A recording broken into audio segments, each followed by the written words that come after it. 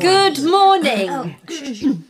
Today I'm going to talk about how to study. Now, you probably think you know all about that, right? Yes. You've been studying for years. And I expect some of you are fantastic at studying, really organized and good at concentrating. But there's always room for improvement. And your exams aren't far away. So these tips are for all of you. Right, so what's the best way to study? Well, first of all, it's a good idea to have some kind of plan or timetable. This could be for the week or a longer revision timetable for an exam from one month to six months. Yes. If you're studying for an important exam, it's important to think long term. Draw up a timetable, but revise it often. If it's not going to plan, you may have to rethink it. Next, think about your environment. Make sure the place where you're going to study is comfortable, with enough light, air, etc. Not too hot, not too cold. Make sure there are no distracting noises around, such as television. If you think you concentrate better listening to music, experiment and see if it's really true. Some people really do seem to work better with music in the background, especially classical music. But for many people, it spoils their concentration. However, if you have to work near a TV, you might have to use headphones to play music to drown out the sound of the TV.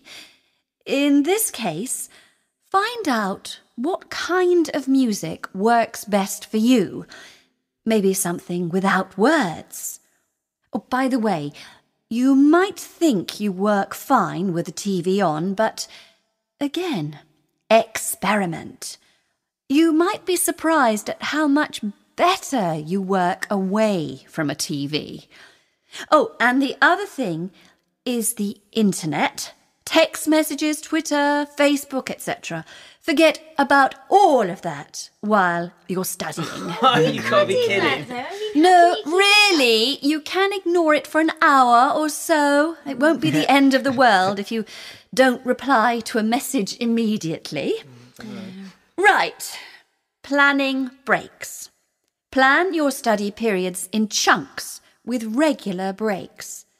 Many people recommend half an hour of concentrated study, then a 10 minute break. But you can adjust this to suit you. If you study for too long at a stretch, your mind will work less effectively. So be careful. In your short break, you can give yourself a treat, such as a cup of green tea.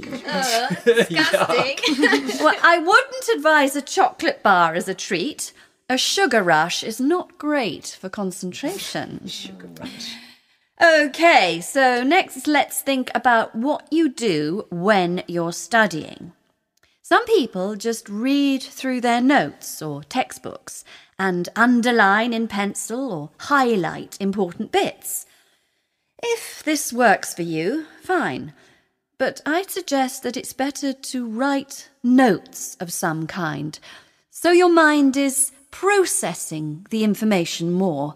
This way, you are also producing material which will be useful for last minute revision. I don't recommend very last minute revision, by the way, but we'll come back Obviously, when you are studying, the first thing to think about is whether you understand the information. And the second thing is how you are going to remember it. Let's look at some more ways of making information more memorable.